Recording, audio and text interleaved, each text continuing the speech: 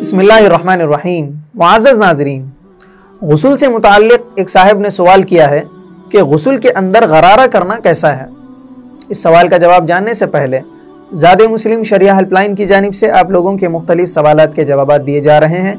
आप लोग का भी अगर कोई सवाल पूछना है तो स्क्रीन पर दिए गए नंबर पर टेक्स्ट मैसेज या फिर ऑडियो मैसेज करके अपने सवाल पूछ सकते हैं। इन आपकी भी रहनुमाई की जाएगी। मुआज़ नाजरीन गसल के अंदर गरारा करना सुन्नत है, फ़र्ज़ नहीं है। गसल के अंदर उसूली तौर पर तो सिर्फ़ एक ही फ़र्ज़ है कि तमाम बदन में, यानी जिसम के हर हिस्से में जहाँ तक पानी का पहुँचाना मुमकिन हो, वहाँ तक पानी को पहुँचाया जाए। लेकिन फ़ुकाय कराम ने इसको और आसान बनाने के लिए गसल के तीन फ़रज़ बतलाए हैं। कुल्ली करना, नाक में पानी डालना, तमाम बदन पर पानी बहाना, ये थे गसल के फ़रज़ मुआज़ नाजरीन जिस तरह गसल में गरारा करना सुन्नत है, इसी तरह गसल की और भी सुन्नतें हैं।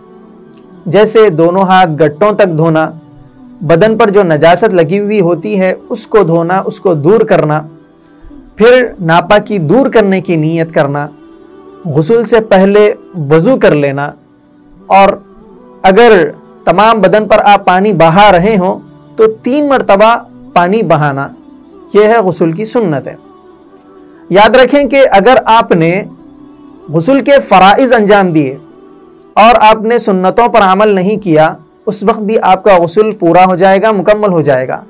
लेकिन याद रखें कि गसल की सुन्नतों को अदा करने में आपको सवाब मिलेगा। अल्लाह रब्बुल इज़्ज़त हम तमाम को अमल की तौफ़ी अता फ़रमाएँ।